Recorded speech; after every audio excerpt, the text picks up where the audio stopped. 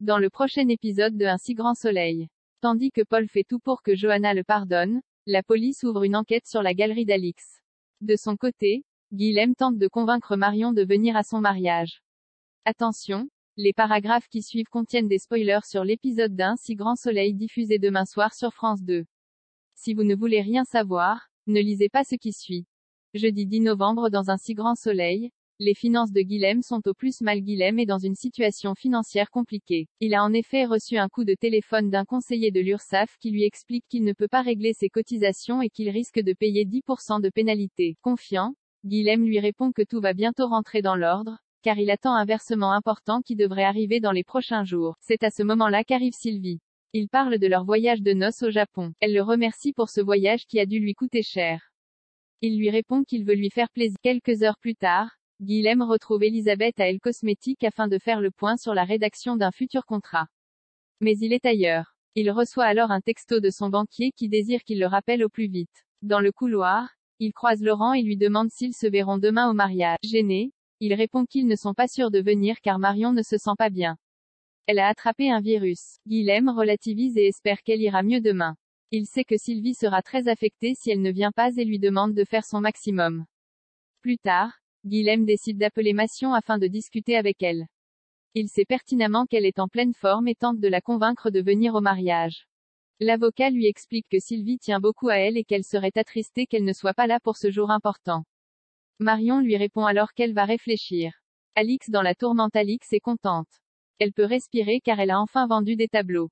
Sa situation financière s'améliore. Mais son bonheur va être de courte durée. Au commissariat, Baker annonce en effet à Alex que le procureur a ouvert une enquête préliminaire sur la galerie d'art. Un particulier a porté plainte car il pense avoir acheté une fausse toile. Il demande à Alex d'aller voir Alix pour voir si cette plainte tient la route. Daniel Brenas appelle Alix pour l'informer qu'il a été convoqué par la police. Il il regrette d'avoir accepté l'interview. Il considère que le journaliste a sali la mémoire de son père. Alix lui conseille alors de se détendre et de raconter la vérité. Daniel est admiratif du sang-froid de la jeune. Alix est alors interrompu par Alex qui est venu rendre visite à la jeune femme dans sa galerie. Il l'informe qu'un de ses acheteurs a porté plainte car il pense avoir acheté un faux. Le policier lui demande alors à qui appartiennent les œuvres.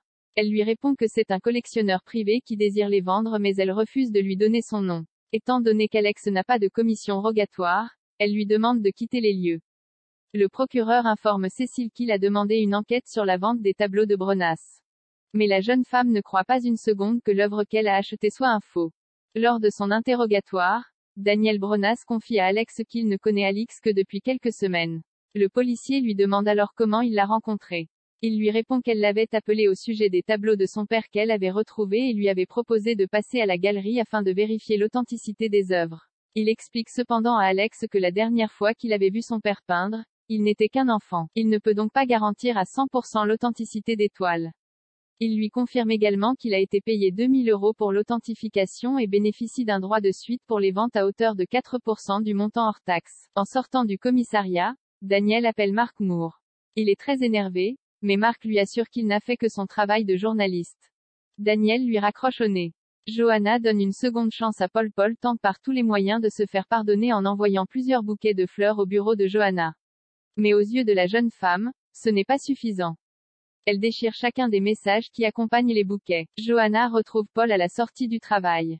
Il tient une nouvelle fois à s'excuser pour l'autre. Il lui explique qu'il est parfois dépassé par ses sentiments et cela le rend maladroit. Mais Johanna met les choses au clair. S'il continue à se voir, Paul doit comprendre que son travail prend beaucoup de place dans sa vie.